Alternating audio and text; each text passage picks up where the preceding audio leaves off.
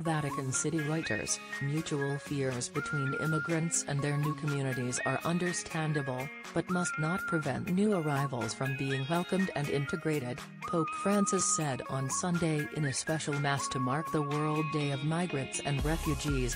Francis, a keen defender of the rights of migrants, was addressing a congregation including migrants and refugees from some 50 countries, whose flags festooned the area around the altar in St. Peter's Basilica at the Vatican. Local communities are sometimes afraid that the newly arrived will disturb the established order, will steal something they have long labored to build up, he said, while the newly arrived, are afraid of confrontation, judgment, discrimination, failure. Having doubts and fears is not a sin. The sin is to allow these fears to determine our responses, to limit our choices, to compromise respect and generosity, to feed hostility and rejection.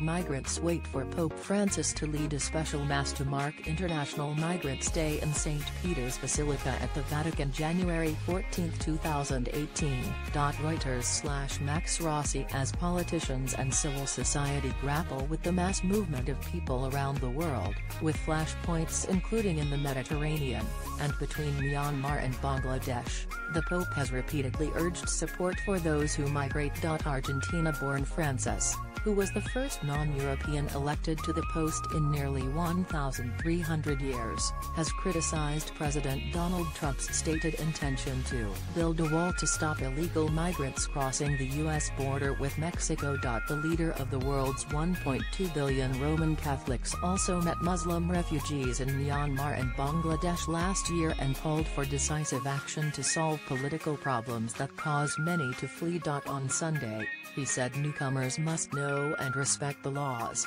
the culture and the traditions of the countries that take them in. Communities, meanwhile, have to open themselves without prejudices to newcomers.